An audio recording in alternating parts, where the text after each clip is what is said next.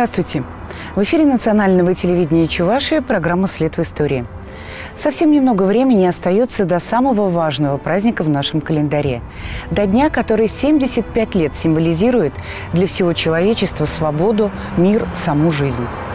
И кто бы мог подумать, что именно в этом году все так получится. Из-за пандемии и режима самоизоляции мы не можем проводить акции торжества, не можем встречаться с ветеранами. Их нужно беречь больше всего. Но праздник состоится.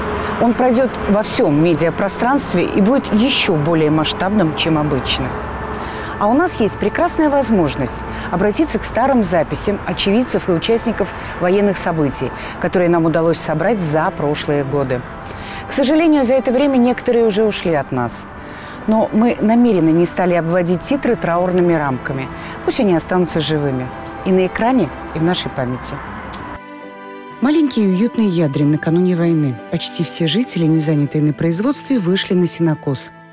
Женщины уходили, приходили утром, а вечером они уходили. Вечером они уходили ну, часов в пять, в шесть, потому что утром нужно в Ядрине всем топить печки, сготовить покушать, скотина там, корову нужно подоить, в стаду утогнать, понимаете, а вечером встретить. Ж, женщины уходили, а мужчины и мы, пацаны, уставались вот в лугах. И теперь женщины утром приходят со слезами, плачут и говорят, мужики, война началась. Один за другим на фронт отправились пятеро братьев Щетининых. Шестой Александр на войну уходил дважды. Летом 43 -го года ему исполнилось 16 лет, и парня сразу отправили на призывной пункт. Меня в Канаш в 43 году два раза привозили. Первый раз привезли, э, э, старый военкомат около завода электропогрузчиков был. Там была э, отметина карандашом полтора метра. Меня к стенке поставили, это, чтобы посмотреть, сколько. У меня 5 сантиметров не хватило. И меня, значит, забраковали. Второй раз приезжаю, все, меня и к этой к черточке э, не подставили, потому что, видимо, на фронт требовались люди, понимаете. Огромная мобилизационная работа была проделана в кратчайшие сроки. В первые же дни войны добровольцами записались более 40 тысяч человек. К в деревнях остались только дети, женщины и старики. 100 тысяч мужчин-колхозников были уже красноармейцами. И не только мужчины.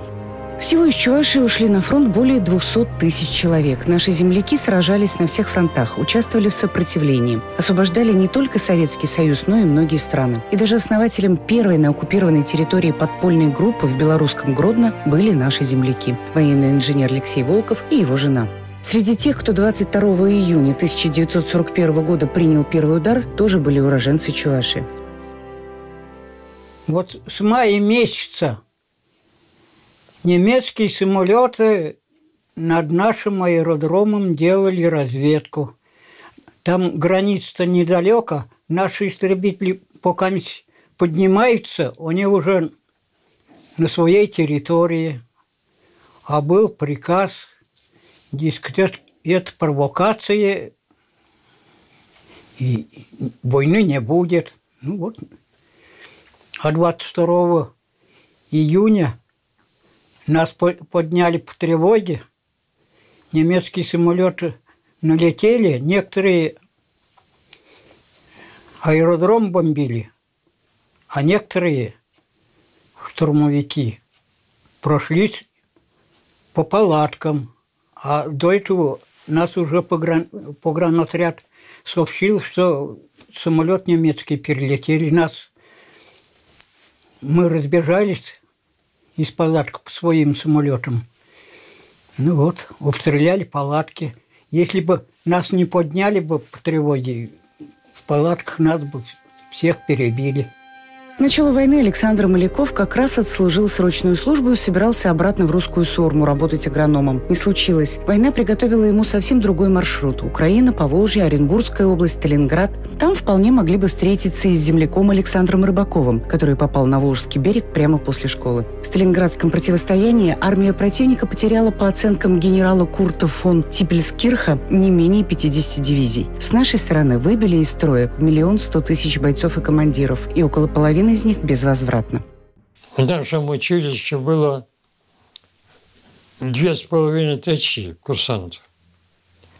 А э, в армии было четыре курсантские полка по две тысячи с половиной, это десять тысяч. И 15 числу, это как командующий уже сказал, сказал, из этих четырех сделали один, один полк, тысячу человек. Девять тысяч человек потеряли мы за Сталинград на сентябрь месяц. 11,5 миллионов советских солдат и офицеров погибли в Великой Отечественной войне. С фронта не вернулся каждый второй, призванный из Чувашии. Военные потери случались и у нас, в глубоком тылу. В марте 1942 года в мастерской завода номер 320, который спешно достроили в Чебоксарах в начале войны, случилась трагедия. От взрыва боеприпасов 10 человек погибли на месте, трое умерли в больнице, а еще трое вообще пропали без вести в 11 часов. Здесь взорвалась мастерская. Ну, думали, а мы в школе сидим. Говорю, наверное, прилетели, бомбит, бомбят. А потом уже сестра пришла с работы, она уже работала. Говорит, вот. И сколько чего все прикрыли – как же страшно было молоденьким девчонкам, а ведь они в большинстве своем и составляли производственные коллективы тех лет. Эвакуированные в Чувашию предприятия остро нуждались в рабочих руках, и вчерашние школьницы их не жалели. Учительница наша классная, Анна Леонтьевна, так ненавязчиво э, сказала, не то, что не приказала ничего, а просто сказала, что э, завод, военный завод здесь перевели, вот, нужны рабочие. Ну, видимо, знали, сказали, что у нас станочки-то были э, такие, ну, не грубые. Ага. Вот.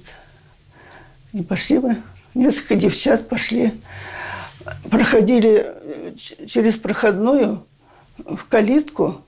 Калитка была в сугробе, вот с такими вот, ага, прошли. Пришли в цех, станки казались высокие – там было несколько девчат всего, только участок только еще в работу. Рабочих не хватало. Я помню первый рабочий день, помню, как я сломала свердло. А у меня была Апокина, вот Ивакина. Э, я у нее была, к ней меня поставили. И с таким ужасом чуть не убежала. Война идет, а я свердло ломаю тут вредительством занимаюсь. Она говорит, ничего так бывает, бывает, ничего, не бойся. Ничего. Я помню мой станок номер 3181. Еще одна сфера, которой давали все силы жителей Чуваши – лечение и выхаживание раненых. В республике в разные годы действовало до 17 эвако-госпиталей. Уже в июле 1941 года в Цивильске открылись шестимесячные курсы медсестер. Хирург Юргенс был. Пошла Боюсь, конечно, членка. Все-таки же там резы, все, все надо перевязки. Рез сама не резала сначала, потом война идет. Юргенцу взяли на фронт. Мне осталось место врача. Пропал. Там сколько прием было? Семь человек, больных сколько. Раненых там. То мы прислали. Пусть Господи, выслали перевязку надо делать. Перевязки материала не хватает. Всего за годы войны через госпитали республики прошли свыше 72 тысяч раненых и больных, и 70% вернулись в строй. Выхаживать раненых помогали местные жители, собирая для них продукты, лекарственные травы, теплые вещи. Чувашия вообще готова была помочь каждому, кто нуждался в поддержке. Тысячи эвакуированных из прифронтовой полосы граждан нашли здесь кров и заботу. Особенно тепло встречали детей из блокадного Ленинграда. Не было кушать, все равно мы дед, детдомовцев, ленинградцев, носили одну картошку там или что-то. Ну, что есть, для кушания тоже помогали. Ну, не помогали, а делились. Мы хорошо дружили. Даже с одного стола ели. Все. Вот Генка Шугарт. Хороший был, обучал. По-русскому учил нас. И сам учился на чувашском языке. Но у него не получалось, он плохо получался. «Война глазами очевидцев и участников» – это настоящая книга жизни, рассказывающая не только о героических свершениях, но и о подвигах в отношениях между людьми. Сколько еще трогательных, грустных и славных историй мы могли бы вам рассказать, и мы обязательно вернемся к этой теме в ближайших выпусках программы «След в истории».